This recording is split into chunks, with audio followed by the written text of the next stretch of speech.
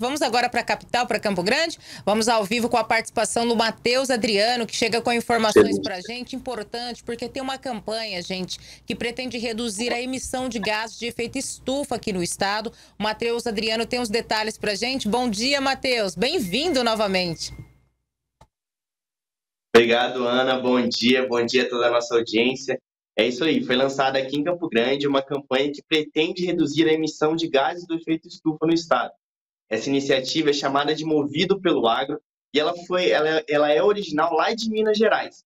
A FamaSul, a Federação de Agricultura e Pecuária de Mato Grosso do Sul, resolveu então trazer esse projeto aqui para o nosso estado em parceria com a Biosul, a Associação de Produtores de Bioenergia. A ideia é incentivar o consumo consciente e a valorização do etanol que é produzido aqui no nosso estado, a partir da cana-de-açúcar e do milho, reduzindo assim a emissão dos gases do efeito estufa, já que o etanol é um combustível limpo que não emite monóxido de carbono.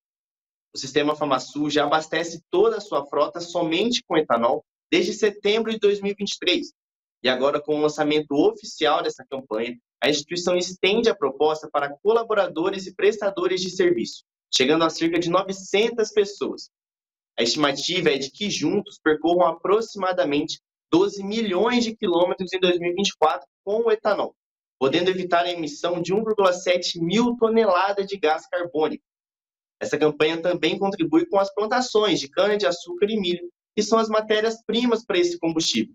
A safra de cana-de-açúcar 2023-2024, por exemplo, que se encerra no próximo dia 31 de março, segue para a reta final com um recorde de 50 milhões de toneladas da matéria-prima que foram processadas na segunda quinzena de fevereiro.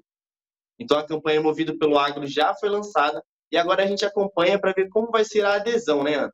Muitas vezes a gente vê ali o etanol como combustível mais barato, a gente pensa ali no, no preço das bombas e a gente esquece também um combustível mais limpo, que é bem menos poluente, né?